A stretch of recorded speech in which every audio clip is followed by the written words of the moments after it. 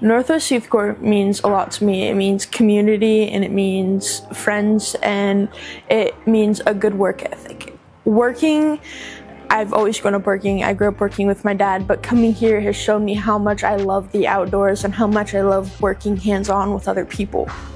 I learned a lot about um, how to be like I guess, uh, a good roommate almost, I guess.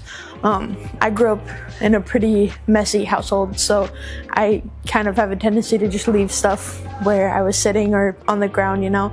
But here, people are like, pick up your stuff, Noah, and I'm like, okay. And it's like, it's helped me out a lot. Um, and another thing that I learned is definitely my people skills because I have some pretty gnarly social anxiety. So, um, working in this group and having them help me and guide me through stuff and like, you know, you can do that, go do that. And it's just like made like all my social anxiety disappear.